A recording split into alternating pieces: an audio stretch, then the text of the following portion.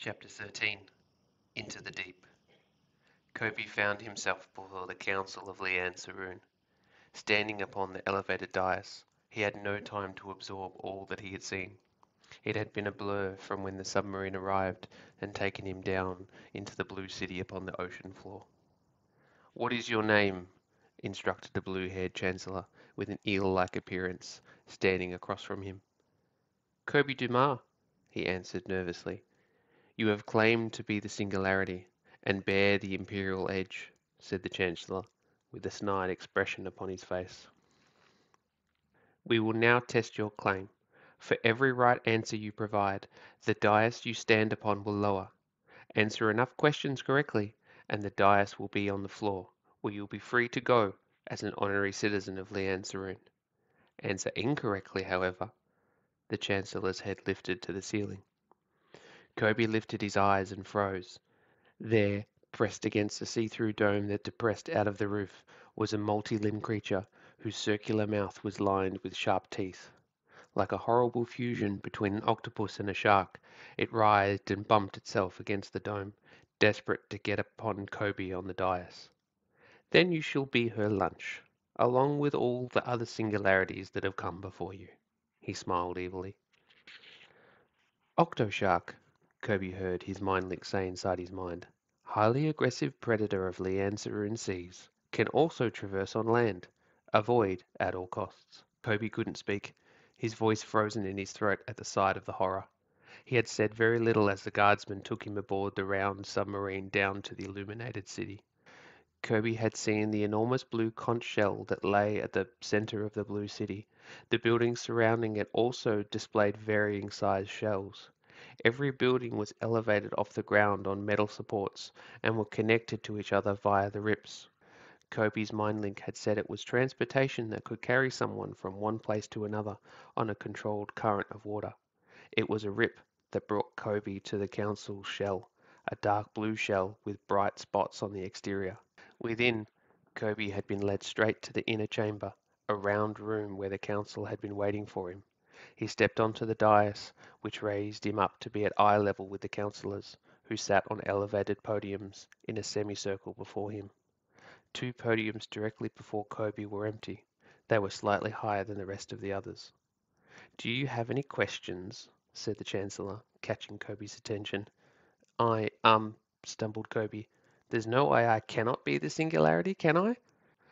If you wish to renounce your claim, you will be fed to the Octoshark immediately said the councillor plainly. Koby felt the dais rise. Wait, wait, I am the singularity, he sputtered, and the dais stopping, returning back to its previous location. False claims to the singularity are treason, said the Chancellor.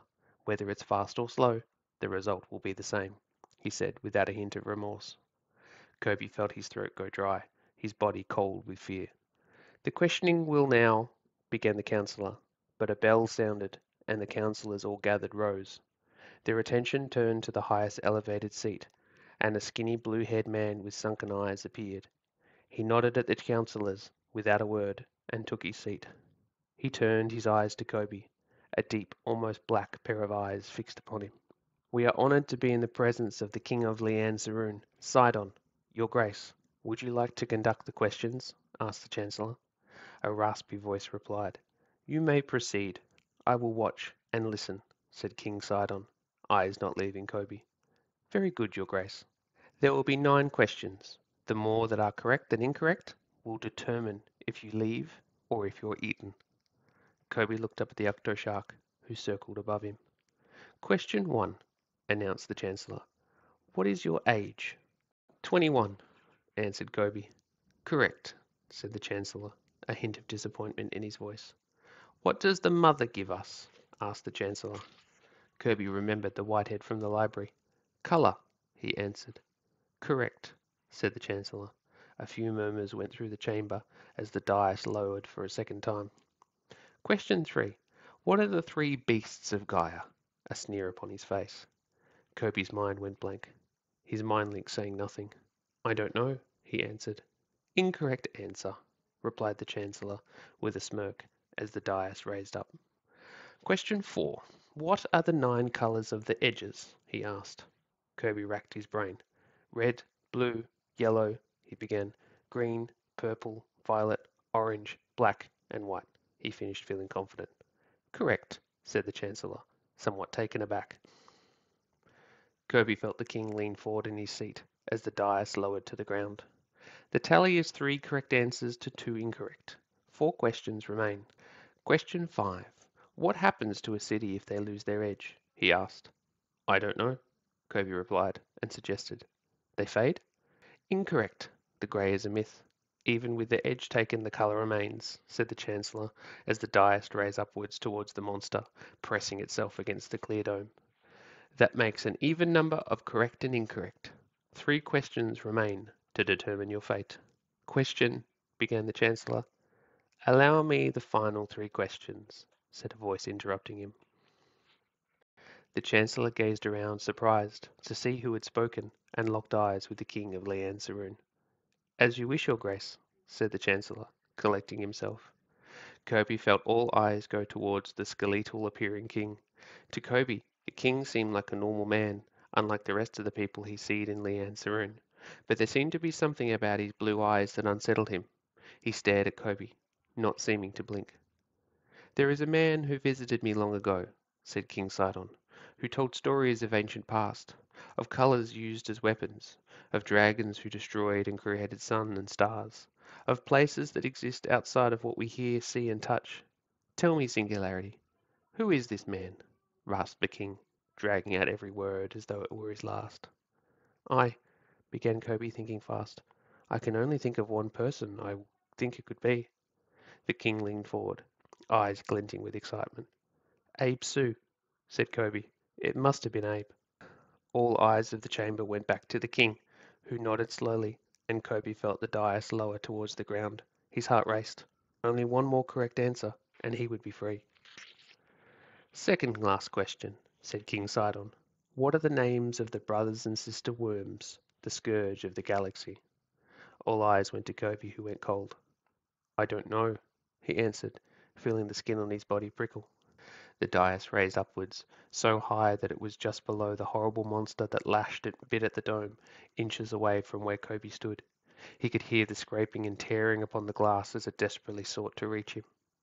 Final question, said the king, who was at eye level with Koby. I commend you for making this far. None before you have made it to the final question. All claims to the singularity have died much sooner, he said somewhat nonchalantly. There is only one answer you can provide for the final question. The king stood up and revealed a pair of blue shoes that sparkled under the lights. The chamber all gasped except for Koby, who didn't know their significance. These shoes are the edge of Lian Saroon, he said, and tossed them onto the dais where Koby stood. Your Grace, protested the Eel Chancellor, surely you don't mean to... Silence, shot back King Sidon. The final question is mine to choose. The Chancellor fumed silently glaring at Koby. Put on the edge of Lian Saroon, and we will see if you are who you claim to be. Koby stripped off his spacesuit upon the dais, allowing his bare feet to fit into the shoes. As he touched them, he felt a ripple of energy course through his body, like a wave of cool water. The shoes slipped onto his feet, seemingly adjusting to his foot size, creating an instant comfortable fit. It was then he heard a sound. A distant sound of horns filled his ears. Koby glanced around and saw the chamber was hearing it as well, their faces puzzled and confused. The sound of the horns grew louder, of trombones and trumpets, of saxophones and clarinets, and of French horns and bassoons all mixed into harmonious cacophony. Koby brought his eyes down and saw the shoes he had put on were no longer just upon his feet. They were growing up upon his legs like corals over rocks. It snaked its way up both of his legs turning his shoes into boots that kept growing. He felt a surge of something awaken inside him, a hidden part of himself that seemed to be unlocked with the blue edge. He saw images flash within his mind, and information began to pour out like a waterfall. He saw people wearing blue shoes and swimming through the water like fishes. He saw people down at the bottom of the ocean, walking as though it were land. He saw the people of Lian Saroon building their city with the aid of the edge, the construction only possible by harvesting resources on the ocean floor. The information crashed over him as the edge grew upon his legs, creating blue shin guards that raised up to a sharp point over his knee. Koby could no longer see the chamber. He was transported to another place, of apparitions and beings that came and went, all who wore the blue edge. He realized what he was seeing was people who had worn the edge previously. The flashes slowed down, and Koby saw King Sidon and a blue-haired woman he did not recognize. The horns in the chamber grew so loud that the chancellors had covered their ears, all except King Sidon who watched on, his stony expression masking his emotion. Koby opened his eyes to the chamber once more as the horns suddenly stopped, the chamber going quiet and the information overload coming to an end. The chamber viewed Koby, some from behind their chairs, others with broad grins, and others with looks of utter contempt. Koby found the eyes of King Sidon, whose expression had changed from cold to that of a hint of a smirk. Correct, he said, with a smile blossoming upon his worn face. You are indeed who you claim to be. Lower the dais, ordered the king. Koby felt the dais descend and lock back into the floor. He gazed up. The octoshark within the dome was nowhere to be seen. Koby felt the power of the edge coursing through his body. He brought his eyes down and saw a pool of water emanating outwards. Stepping off the dais, the water followed wherever he stepped. The edge wants to be in the water, said a raspy voice of the king as he approached Koby across the floor. He was skeletal thin, with wispy blue hair that clung to his skull in strands. His face was gaunt and sallow, appearing very ill to Koby. He moved uncomfortably towards him. In my youth, I took the edge through the seas of Lian Saroon, discovering all its hidden treasures. But you know that, don't you? You saw me? Koby nodded that he did. The edge shows many things, Strange things, said the king. Beware of the wisdom you've gained, Koby. It can aid you, or it can hinder you, he cautioned, leaning close. It has cost many wearers their mind and even their lives. Though knowledge is nothing without application, it is because of this I must ask you to return the edge to me. The singularity test has been passed. What the edge has given you is yours forever, but the edge itself is not, he said sternly. Koby remembered what he'd been sent to Gaia for. The edge was already upon his feet. He could feel its power coursing through him. He could take it for himself. There would be no one to stop him. Yet he didn't. He felt a connection to this man for some reason, one that he could not explain. How do I take them off? said Koby finally. The king appeared relieved. You simply think of them as they were before, and they will turn back to their original form. Koby did so, and watched as the plated boots shrank back into the shoes he'd been given. His feet slipped out, and he handed the edge back to King Sidon. You have my thanks, said the king, putting the edge back on. They formed quickly upon his legs. You could have very easily taken them when they were offered to you. It is why the chancellors were so worried. It was a calculated risk to prove your claim, one that could have cost Lian Saroon its edge. Koby saw that the king stood straighter with the edge upon his legs appearing somewhat rejuvenated.